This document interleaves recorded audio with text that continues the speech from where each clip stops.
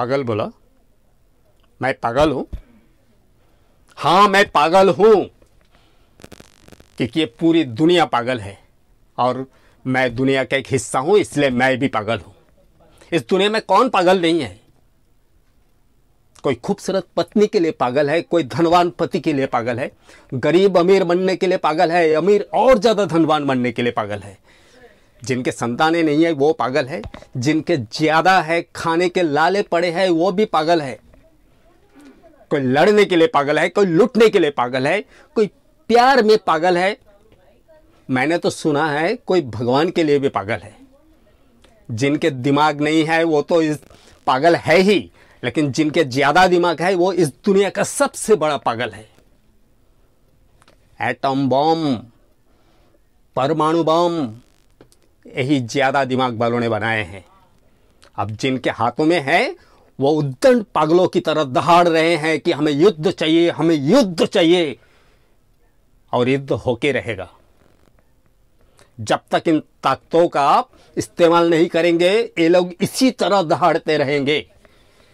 और तुम सोच भी नहीं सकते, कल्पना भी नहीं कर सकते आउट ऑफ़ इमेजिन कि परमाणु युद्ध होने के बाद इस दुनिया का क्या हाल होगा? कितना विनाशकारी वो मंजर होगा? कितनी भयानक तस्वीर होगी? कितना विभत्स रूप होगा धरती माँ का? इस दुनिया से पूरी तरह सृष्टि मिट जाएगी। ना इंसान रहेगा, ना जानवर, ना पेड़, ना पौधे। ना मंदिर में कभी घंटी बजेगी, ना मस्जिद से कभी आजान आएगी। ना कभी बाहर आएगी, ना फूल खिलेंगे, ना पंछी गाएँगे, लेकिन सूरज अपने नियम अनुसार उगते रहेंगे। चाँद भी दिखाई देगा। लेकिन उस मंजर को लिखने वाला कोई नहीं रहेगा।